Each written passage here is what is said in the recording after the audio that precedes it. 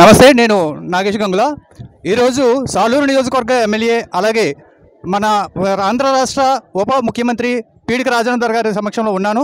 ఎన్నికల షెడ్యూల్లో బిజీగా ఉన్నారు ఎన్నికల ప్రచారంలో. అయినప్పటికీ కూడా మనకి కొంత సమయం కేటాయించడం జరిగింది. నిన్న చంద్రబాబు నాయుడు గారు మాట్లాడిన వ్యాఖ్యల గురించి ఒకసారి రాజేందర్ గారు ఏమంటారో ఒకసారి కనుక్కుందాం. నమస్తే సార్. నమస్తే. సార్ నిన్న వ్యాఖ్యలు చూసుకుంటే భూ సురక్ష పథకం గురించి చంద్రబాబు నాయుడు గారు చేసిన వ్యాఖ్యలు మీరు వినే ఉంటారు.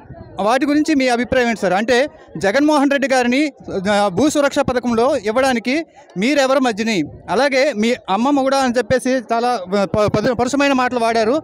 ఇప్పటివరకు మేమైతే ఎక్కడ వినలేదు. అలాంటి వ్యాఖ్యలు చేశారు చంద్రబాబు నాయుడు గారు. దాని మీద మీ అభిప్రాయం చెప్పండి సార్. నిజంగా నిన్న చంద్రబాబు నాయుడు మాట్లాడింది చాలా బాధాకరం. ఒక విధంగా ఒక తల్లికి చాలా కించపరిచారు. ఒక తల్లికి చాలా అవమానపరిచారు. భారతదేశంలో ఒక తల్లిని పట్టుకొని తల్లికి వందనము అని చెప్తాం మనం. మాతృదేవోభావ అని చెప్తాం. పితృదేవోభావ అని చెప్తాం. అంతే తప్పించి ఒక తల్లిని ఈ విధంగా కించపరిచిన బహుశా ఏకైక రాజకీయ నాయకుడిగా చంద్రబాబు మిగిలిపోతారేమో. పద్నాలుగు సంవత్సరాలు ముఖ్యమంత్రి చంద్రబాబు చేశారు. డెబ్బై ఐదు సంవత్సరాల వయసు ఉన్నది అటువంటి వ్యక్తి ఒక ముఖ్యమంత్రి తల్లిని పట్టుకొని జగన్మోహన్ రెడ్డి గారి తల్లిని పట్టుకొని ఆ విధంగా మాట్లాడడము భారతదేశ చరిత్రలో బహుశా ఇదే మొదటేమో ఒక ముఖ్యమంత్రి తల్లిని పట్టుకొని. నిజంగా ఎంత బాధ అనిపిస్తుందంటే ఆ విషయం చూస్తుంటే నిజ ల్యాండ్ టైటిల్కి సంబంధించి ఆయన మాట్లాడాలంటే ఆయన ఫిర్యాదు ఇమ్మని చెప్పండి ఎవరికైనా. ఎన్నికల కమిషన్కి ఇమ్మని చెప్పండి. లేకపోతే ఎన్డీఏ కూటమిలో బీజేపీ ఉంది. బీజేపీకి ఫిర్యాదు ఇమ్మని చెప్పండి. ల్యాండ్ టైటిల్ పెట్టింది కూడా బీజేపీ పార్టీ పెట్టింది. కేంద్ర ప్రభుత్వం పెట్టింది. దాని ప్రకారం మేము చట్టం మీకు చేస్తున్నాం. సరిపోనంత చట్టాన్ని రద్దు చేసే హక్కు కేంద్రానికి ఉంటుంది. మా చట్టాన్ని అంగీకరించదు. అంతేకాని ఆయన ఇష్టం వచ్చిన మాట్లాడితే ఎవరు ఊరుకోరు. ఇది ఎన్నికలు ఉన్నది. ఈ ఎన్నికల ఎన్నికల కమిషన్ ఏం చేస్తుందంటే ఇప్పుడు నేను. ఈ విధంగా చంద్రబాబు మాట్లాడితే కేంద్ర ఎన్నికల కమిషన్ కానీ రాష్ట్ర ఎన్నికల కమిషన్ కానీ ఏమి చేస్తుందని అడుగుతున్నాను నిజంగా ప్రజాస్వామ్యం ఉన్నదా? భారతదేశంలో అడుగుతున్నాను నిజంగా ఎన్నికల కమిషన్ ఉన్నదా? భారతదేశంలో అడుగుతున్నాను. ఎన్నికల కమిషన్ భారతదేశంలో ఉన్న ప్రజాస్వామ్యం భారతదేశంలో ఉన్న ఈ ఎన్నికలు అనేది ప్రజాస్వామ్య పద్ధతిలో జరుగుతున్న వెంటనే చంద్రబాబును అరెస్ట్ చేయాలి. అరెస్ట్ వారెంట్ ఇవ్వాలి. ఎన్నికల కమిషన్ వెంటనే ఆర్డర్ ఇవ్వాలి. డీజీపీకి ఆదేశాలు ఇవ్వాలి.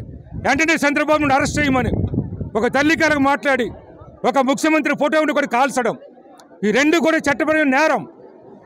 ఆయన ఫోటోని కాల్చడం మా తల్లి విజయమ్మ. మా ముఖ్యమంత్రి గారి తల్లి మా నాయకుడి తల్లి అంటే మా తల్లి.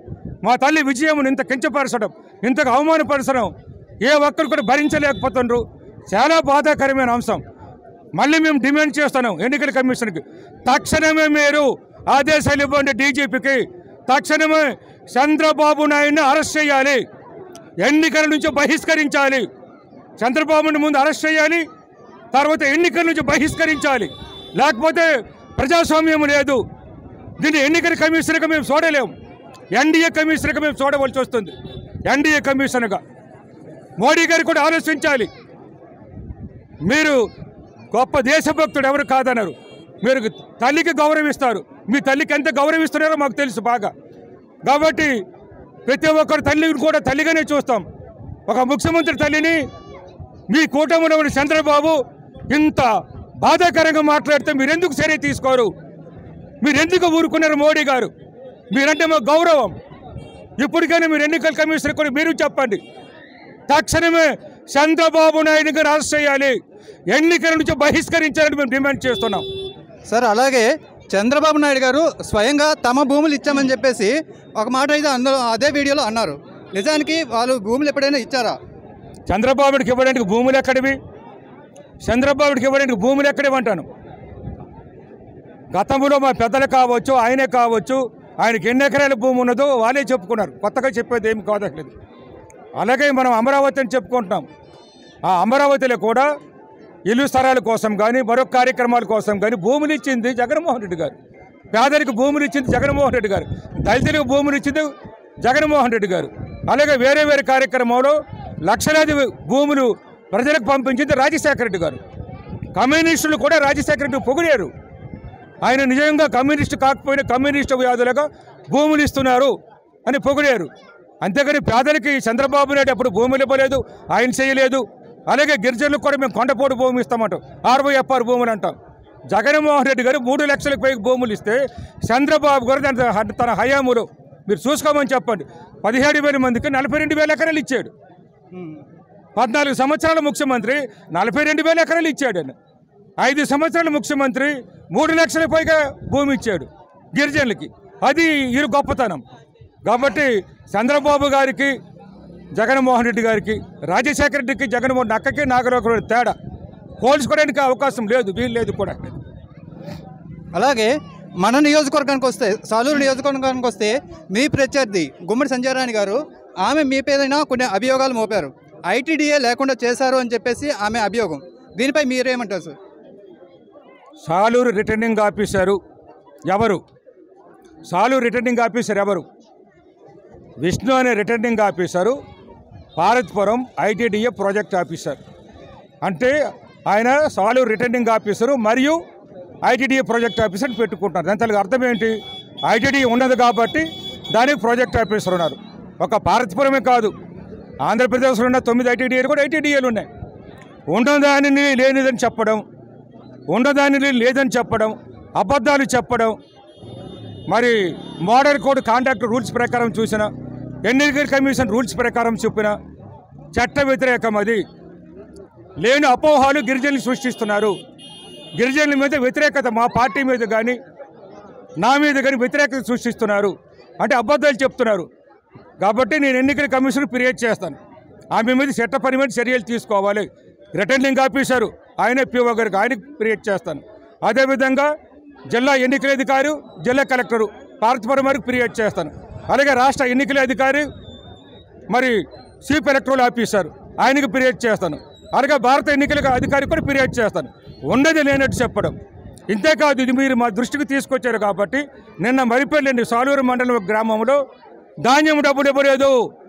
వైఎస్ఆర్ ప్రభుత్వం అని కూడా అబద్ధాలు చెప్పి మా ప్రభుత్వం మీద మా ముఖ్యమంత్రి మీద నా మీద కూడా సాడీలు చెప్తున్నారని కాబట్టి అది కూడా ఎవరికి ఇవ్వలేదు. లిస్టు మనం అడుగుతున్నాం. లిస్ట్ ఇచ్చి నేను పంపిస్తాను. ఆ లిస్ట్ ఇచ్చి చేతిలో పట్టుకొని మాట్లాడాలి. సాలూరు మండలంలో నిన్న మాట్లాడారు కాబట్టి సాలూరు మండలంలో మేము ధాన్యం డబ్బులు ఎవరికి ఇవ్వలేదు. ఇవ్వకపోతే మూడు రోజుల్లో అవి ఇస్తే పర్వాలేదు. లేదంటే అది కూడా అబద్ధాలు చెప్పినట్టు మా మీద ప్రజా వ్యతిరేకత సృష్టిస్తున్నట్టు లేనిపోని కళ్ళబుల్లి మాటలు చెప్తున్నట్టు ఎన్నికల కమిషన్కి అది కూడా ఫిర్యాదు చేస్తాను. ఇటు రిటర్నింగ్ ఆఫీసర్కు జిల్లా ఎన్నికల అధికారికు రాష్ట్ర ఎన్నికల అధికారికు వాళ్ళు సిద్ధాంతాలు చెప్పుకోమనండి వాళ్ళు ఏం చేస్తారో చెప్పుకోమనండి. అంతేకాని అబద్ధాలు చెప్పడం కాదు. అలాగే వారి అధికార ఛానల్లోనే ఈ మాటలన్నీ మాట్లాడారు సార్. ఐటీడీఏ గురించి కానీ లేదంటే మీరు అభివృద్ధి చేయలేదు అని చెప్పేసి పద్దెనిమిది సంవత్సరాలు పరిపాలించారు కానీ అభివృద్ధి చేయలేదు అని చెప్పి అంటున్నారు. అది జూట్ ఫ్యాక్టరీ గురించి కానీ అలాగే వంద పడకల ఆసుపత్రి గురించి కూడా మాట్లాడుతున్నారు. మీ అభిప్రాయం చెప్పండి సార్.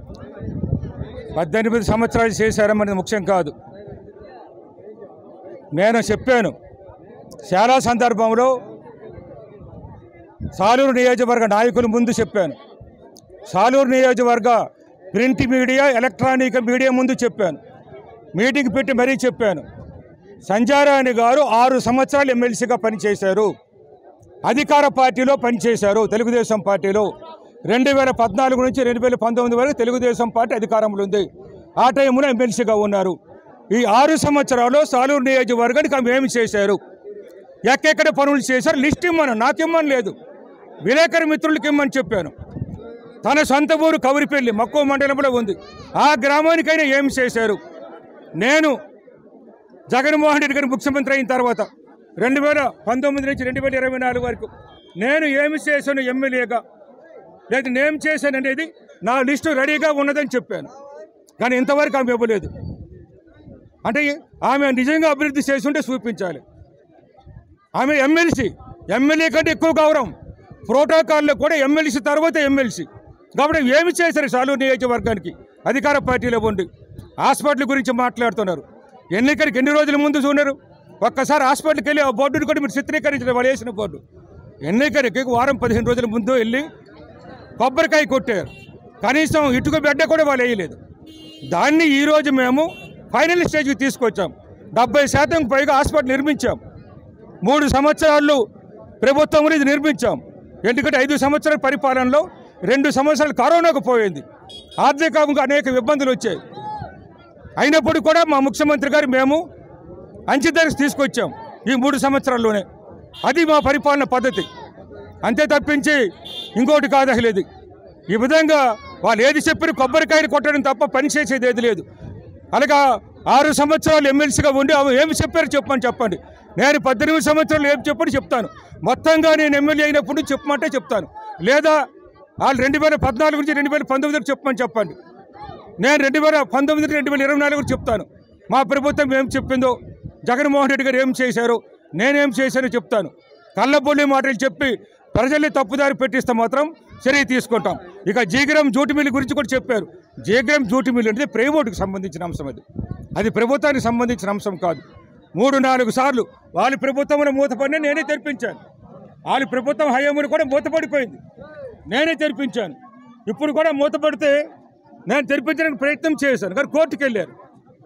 కోర్టులో వెళ్ళిన తర్వాత ఎవరైనా చేస్తా కదా భారతదేశంలో అన్నిటికంటే అతీతమైనది కోర్టు న్యాయస్థానం. న్యాయస్థానం ఏది చెప్తే భారత ప్రధానమంత్రి భారత రాష్ట్రపతి కూడా వినాలి.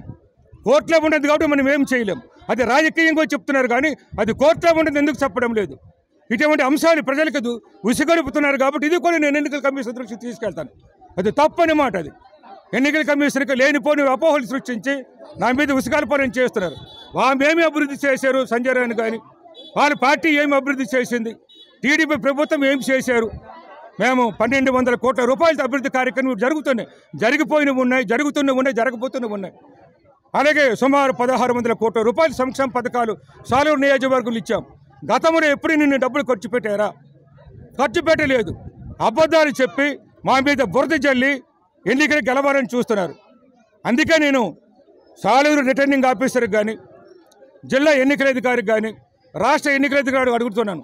ఇటువంటి లేనిపోని అపోహలు సృష్టించేవారు అబద్ధాలు చెప్పేవారు లేనిపోని కళ్ళబుర్రల మాటలు చెప్పే వాళ్ళ మీద మాత్రం చట్టపరమైన ఎన్నికలు మోడల్ కోడ్ ప్రకారం చర్య తీసుకోవాలి. నేను రాతపూర్వకంగా వాళ్ళకి పంపించబోతున్నాను. తప్పకుండా వాళ్ళ మీద చర్య ఉంటుందని చూస్తున్నాను. చర్య లేకపోతే నేను హైకోర్టుకు వెళ్తాను తర్వాత. ఎన్నికల తదనంతరమే నేను హైకోర్టుకి వెళ్తాను వీటికి సంబంధించి. ఇది ఉప ముఖ్యమంత్రి పీడిక రాజేందర్ గారు సాలూరు నియోజకవర్గ ఎమ్మెల్యే. ఈ నాలుగు సంవత్సరాలుగా నాలుగు నియో నాలుగు దఫా ఎన్నికల్లో కూడా విజయకేతనం ఎగరవేసి ప్రతి ఎన్నికల్లో కూడా భారీ మెజారిటీని పెంచుకుంటూ వస్తూ ఉన్నారు. గత ఎలక్షన్లో కూడా ఇరవై వేల మెజారిటీతో వచ్చారు. ఈసారి కూడా అంతకు మించిన విజయాన్ని నమోదు చేసే దిశగా ప్రచారాన్ని కొనసాగిస్తున్నారు. ధన్యవాదాలు సార్. Thank you